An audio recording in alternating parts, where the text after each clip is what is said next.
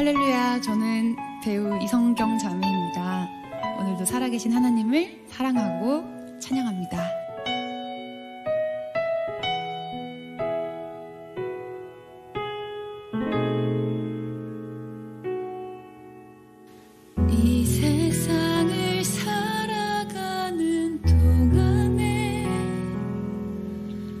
나의